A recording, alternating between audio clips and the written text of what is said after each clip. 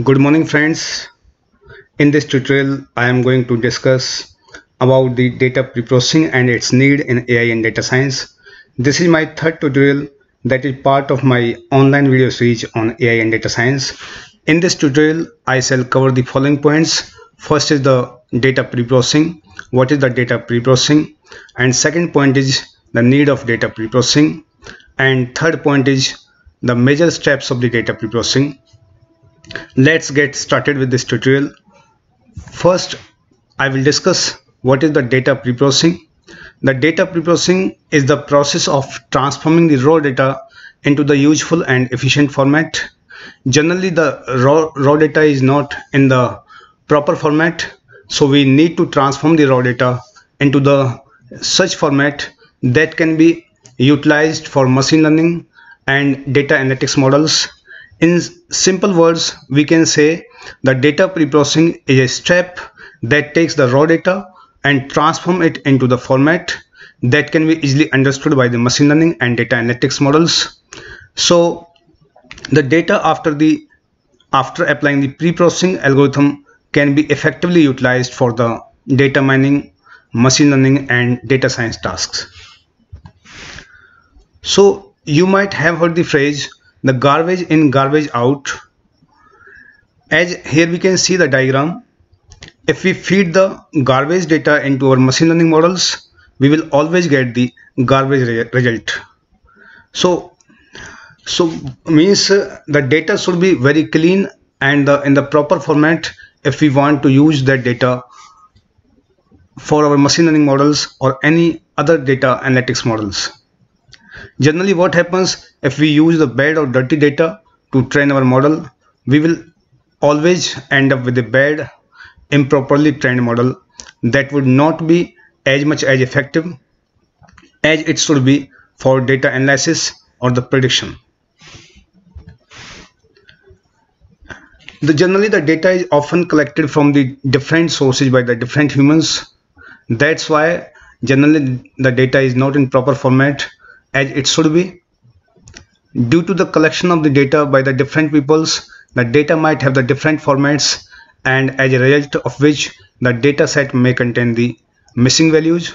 It may also contain manual input errors as well as the data may also have the duplicate data or the repetition of data and sometimes in the same thing may also be described by the different names by the different peoples here we have the data in the tabular form. This data is raw data. This has not been transformed in the uh, proper format by applying the data preprocessing techniques. As here we can see the four columns the three columns the first three columns represent the independent features and the last one online shopper variable or the last column represent the dependent feature. Why do we call it dependent feature? And the first three column the independent features as the online shopper the last column. Whether the person will go for online shopping or not would depend upon these first three features. The region age and income. The which region the person belongs to and how old the person is and what is his or her income is means shall decide whether the person will go for online shopping or not. So that's why the last column is known as the dependent feature. And the first three columns is known as the independent feature. And here we can see in the data the in the age variable in the seventh row there is one missing value as well as in the income column and in fifth row there is another missing value. So in this data set we have the two missing values so data is not proper means it contains some missing values. So we need to remove either uh, need to remove this data or we need to replace the missing value by the mean values. So in the next slide we can see the important step of data preprocessing. We have the seven important steps of the data preprocessing. First is to acquire the data set. And second is to import all the crystal libraries. Means if you want to process the data we need to import all the crystal li libraries like pandas numpy seaborn sklearn means all such kind of libraries are needed to be imported to process or to work on the data. Then next step is to import the data set once the data set is imported into the Jupyter environment we need to identify and handle the missing values. As we have seen in our previous slide the raw data contains some missing values. So the missing values need to be uh, sorted out or missing values need to be replaced by their mean values. And next step is encoding the categorical data. As you can see in this tabular form we can see from this table that we have the two categorical variables the region variable as well as the online shopper, shopper variable. So in these two columns we have the categorical data. Why do we call it categorical?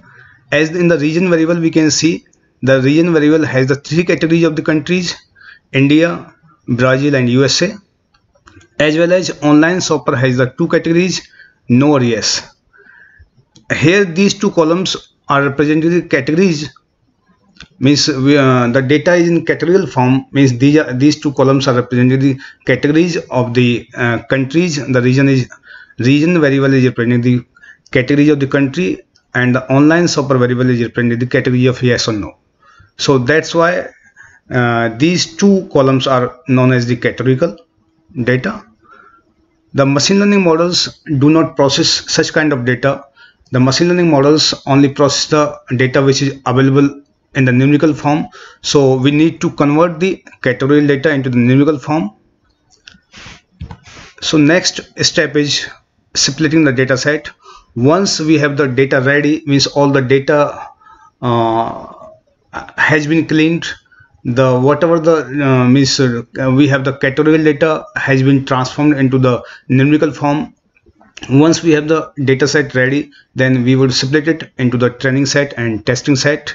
Uh, generally the 80% uh, of data is used for training the models and 20% of data is used for testing the models.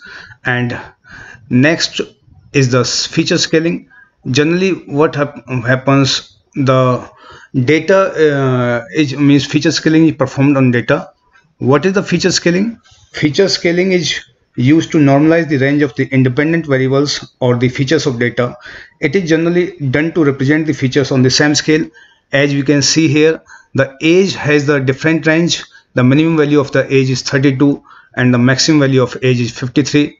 Similarly, the in the income column also the minimum range is 57600 and the maximum value is 94800 the both the columns age column as well as the income column has the different ranges so uh, the data uh, machine learning mo model cannot process such kind of data uh, which has the different ranges so we need to normalize the data we need to bring all the data onto the same scale means that means between 0 and 1 so feature scaling is done to bring all the data onto the same scale. Generally the data is brought between the 0 and 1. Thanks, thanks everyone. In my next tutorial, I shall cover the implementation part of the data preprocessing using Python.